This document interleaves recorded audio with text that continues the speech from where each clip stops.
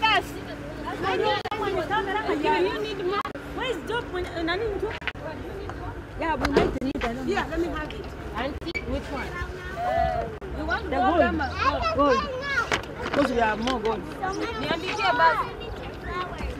The big gold is better, right? Yeah. Ah. Phoebe, pini matete. I'm going out. Watch your dresses, guys. This way. Watch, don't drop your flowers. Be careful. We need to go in and then you tie your dress. And you need to tie your dress. But let's go in first. Here, come here.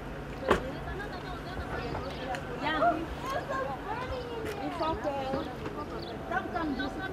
Yeah. Never to say dear. Yeah. Eh, this side is better. Yeah, my other side.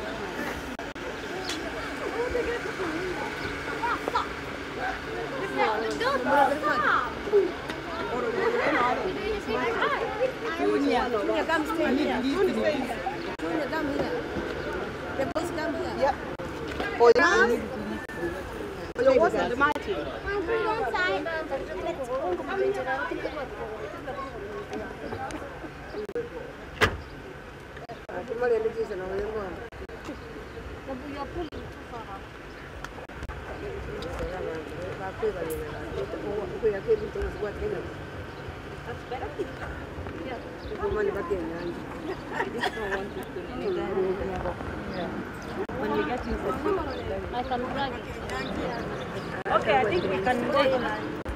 Let's go in. Ichafuke ndio ta- ndio tutaona.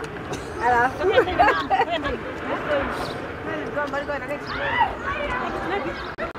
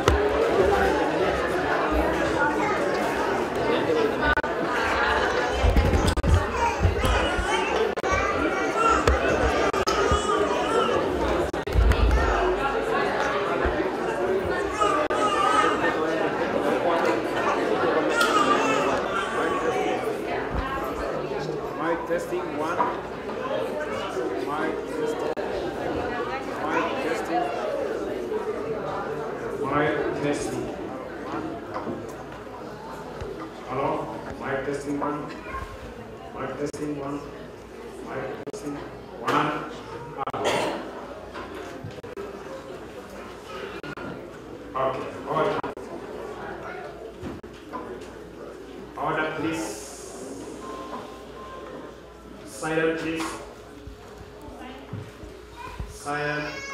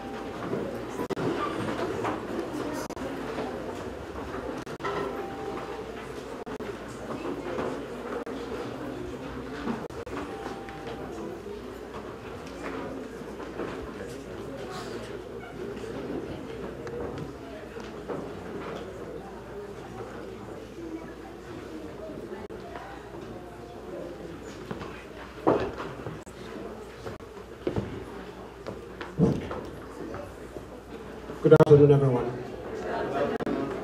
I want to take this opportunity to welcome each and every one of you to this special occasion this afternoon. Um, it reminds me of um, that special occasion during the time of Adam and Eve. So we welcome you, and um, our opening song comes from our hymnal number 656. So I kindly ask that we all stand as we sing our opening song.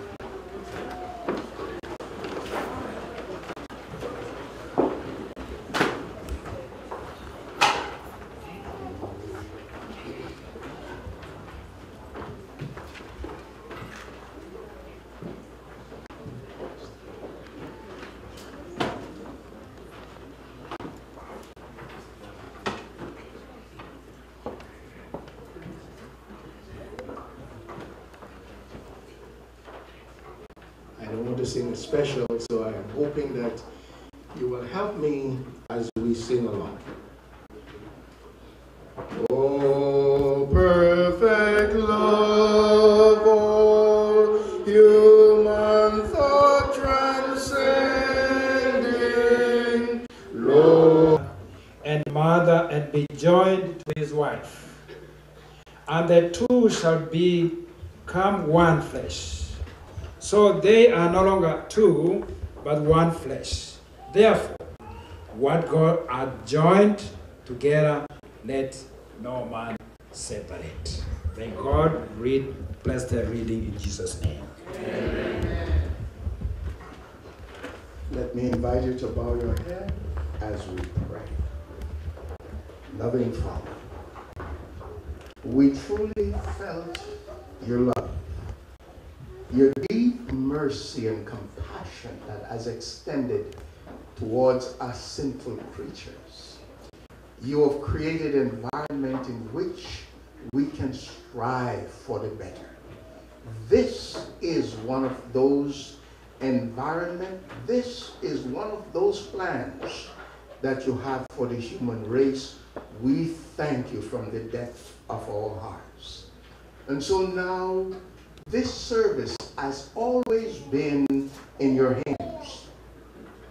We pray that everything that is said and done will bring honor and glory to your name, will bring joy to this couple and to each and every one of us. For this we ask in Jesus' precious name. Amen. Please be seated.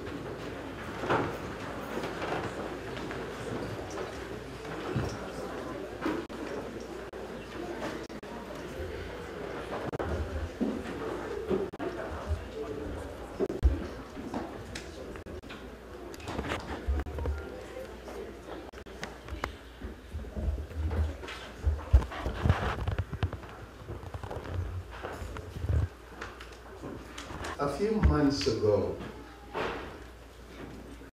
I was privileged to have met Phoebe.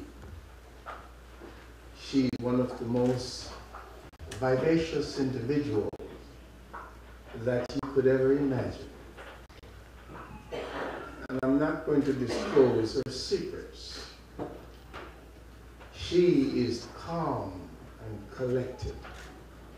She is indeed a pearl of great price. But before meeting Phoebe, I met Dr. Vincent. And as we talk, Dr. Vincent said to me, Pastor Gray, there are some things about my life that I'm not overly pleased about.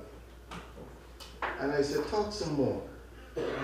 As I know when you give people a chance to speak, they will tell you what they did not intend on telling you. So I listened and he spoke.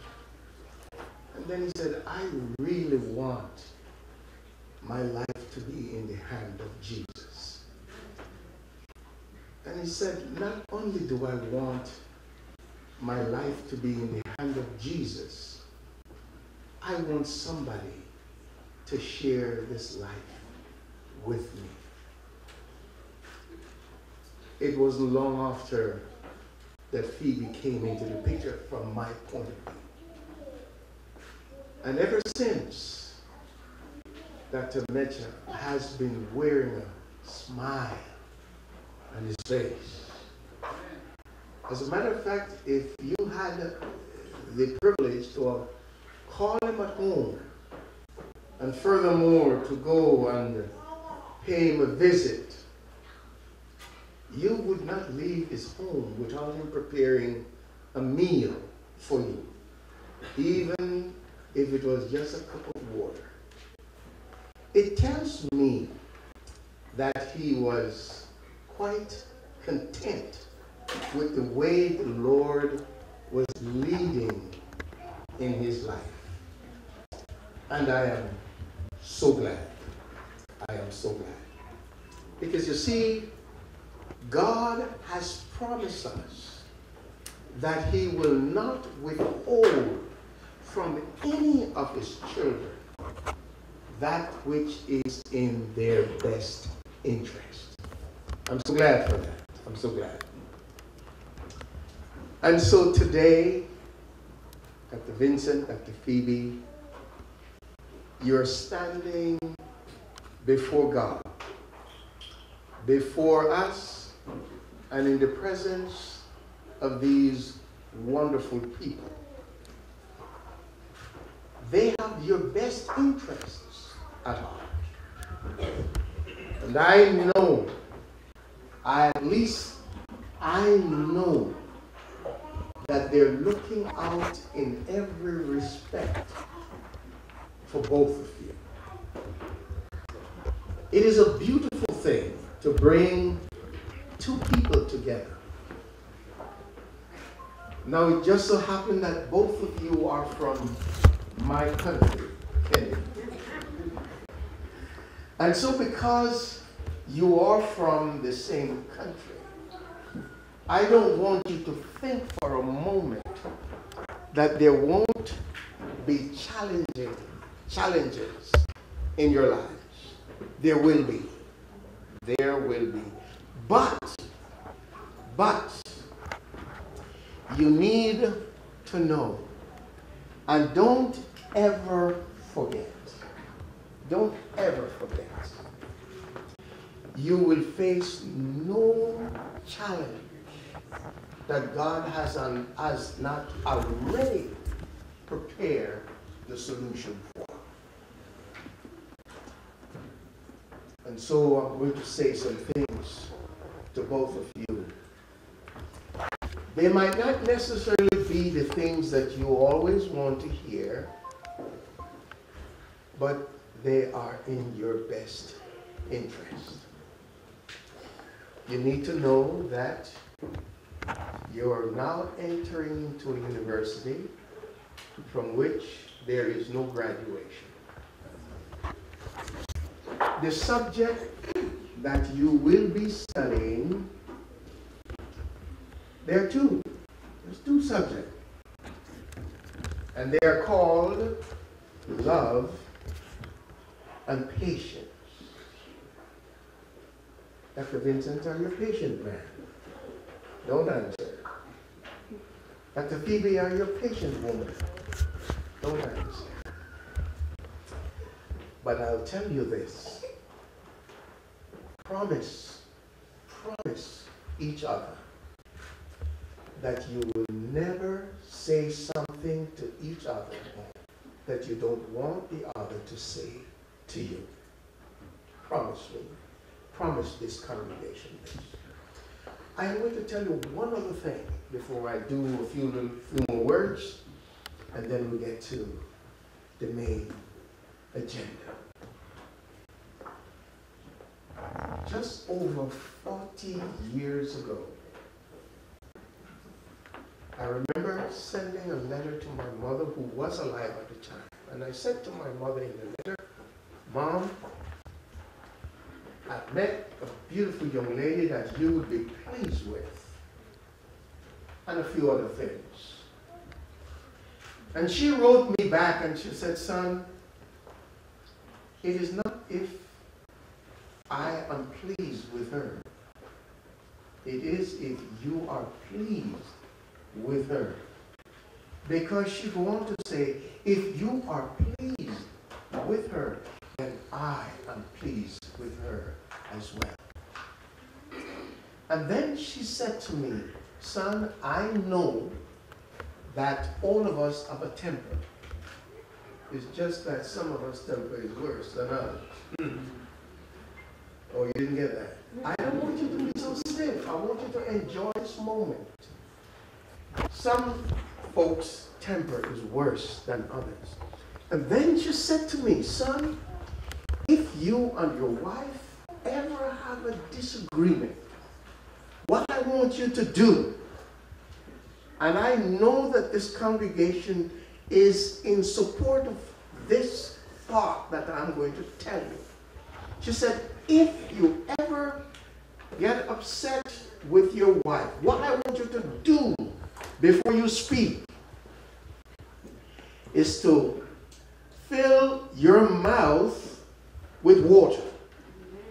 Don't spit it out and don't swallow it. And I find that it was quite remarkable because it's impossible to speak when your mouth is full.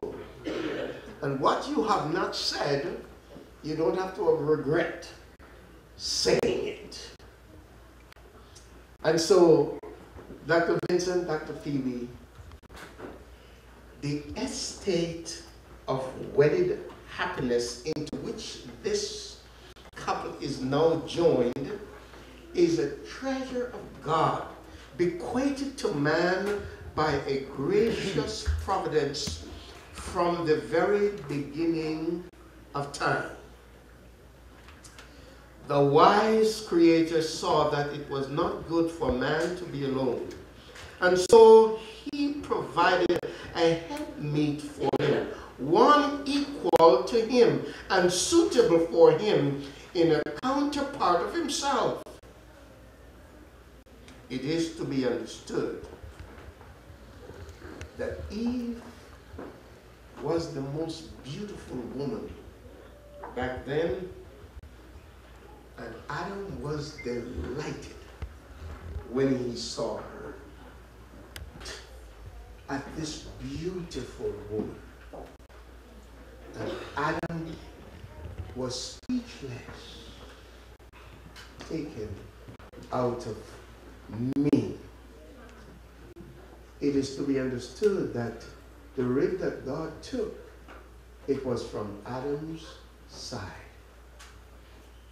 And the purpose for that is that they should walk together, side by side. Even when you're not physically at the same point, you can connect in mind. Because is each other. Hold hands, please.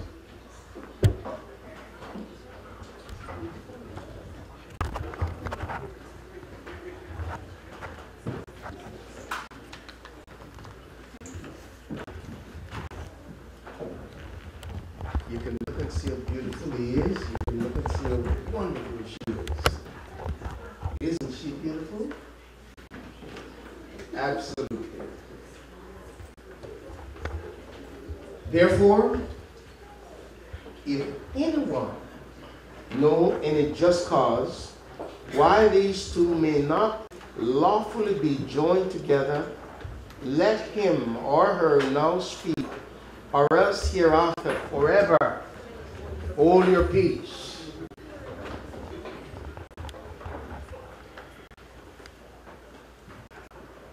All right, you're clear.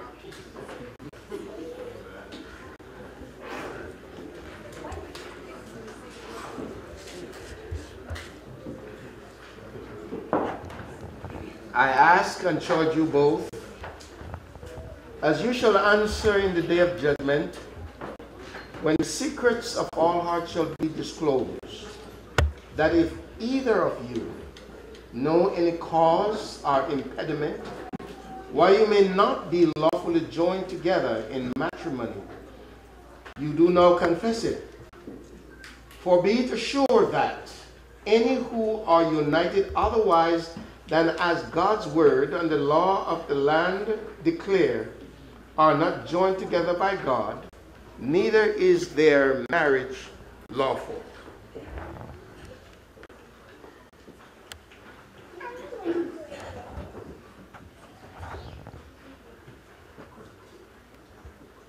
Dr. Vincent, I want you to repeat after me.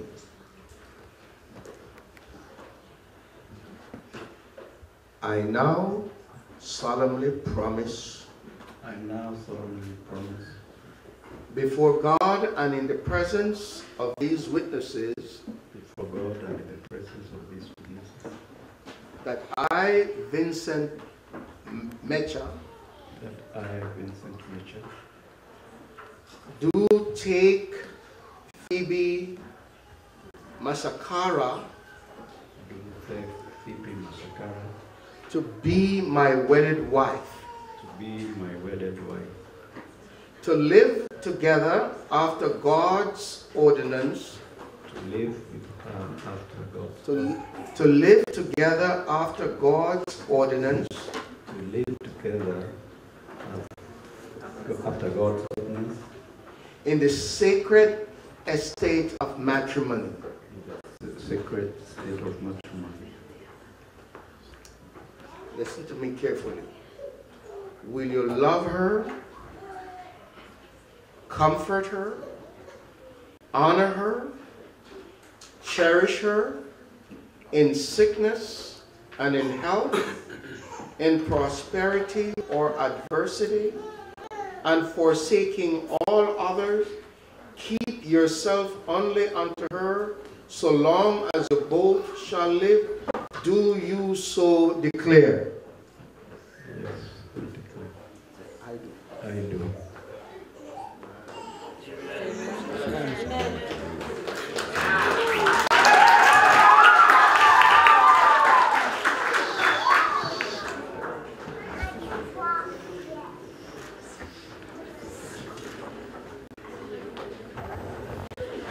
I want you to repeat after me, Dr. Phoebe. I now solemnly promise I now solemnly promise before God and in the presence of these witnesses before God and the presence of all these witnesses that I, Phoebe Masakara, that I, Phoebe Masakara, taken Vincent Mecha taken Vincent Mecha to be my wedded husband, to be to be my wedded husband, to live together to live together. under God ordinance. Under God's ordinance. In the sacred estate of matrimony. in the sacred estate of matrimony.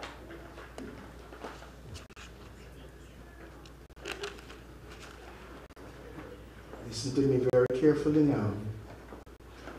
Will you love, honor, and cherish him in sickness and in health, in prosperity or adversity, and forsaking all others? Keep yourself only unto him so long as you both shall live. Do you so declare? I do.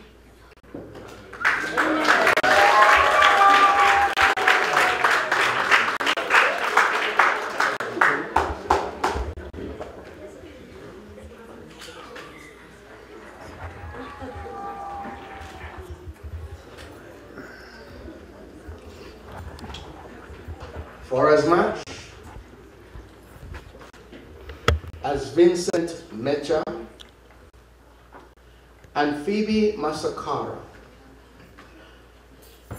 have consented to be joined together in holy wedlock and have witnessed the same before God and this company, and thereunto have given and pledged their troth each to the other, and have declared the same by the joining of hand, I, as a minister of the gospel, and by the authority of the law of Ontario, I do pronounce that they are husband and wife.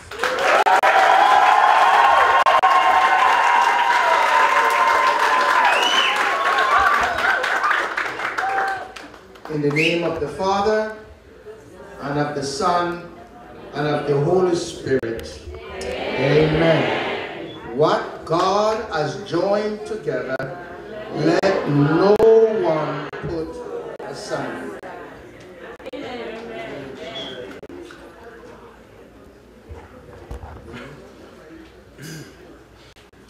At this time, I'm going to invite the bride and groom to kneel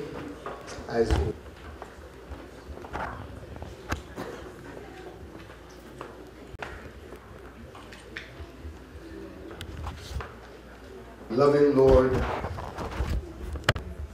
what a beautiful day you have created for all of us, your people. Not only that this is your Sabbath, you have brought two individuals and you have joined them together.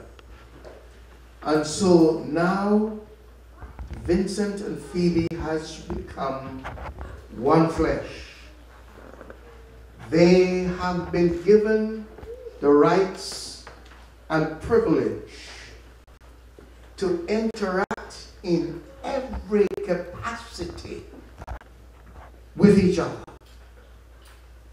Lord, we thank you for them.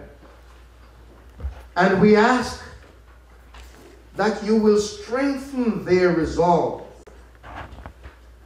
that they would remain faithful to you, grow in love.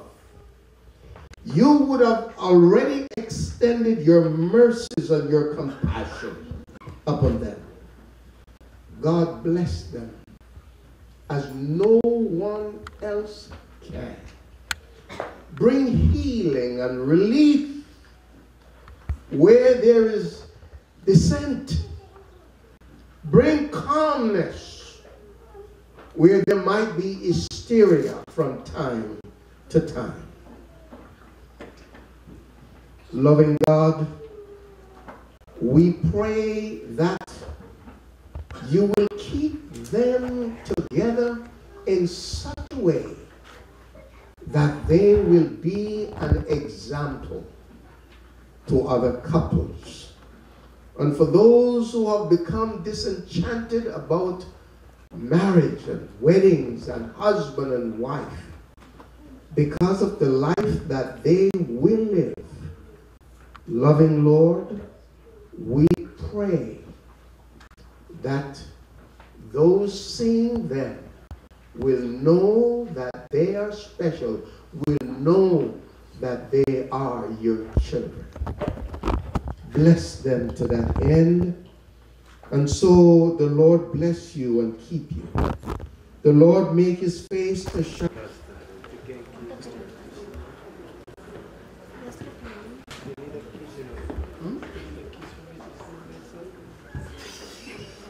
Just wait, it's coming. It's